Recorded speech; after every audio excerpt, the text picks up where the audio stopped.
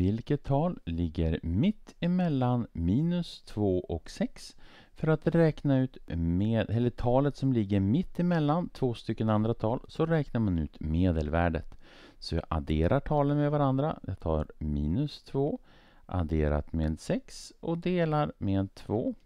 Minus 2 adderat med 6 det är 4. 4 genom 2 är lika med 2.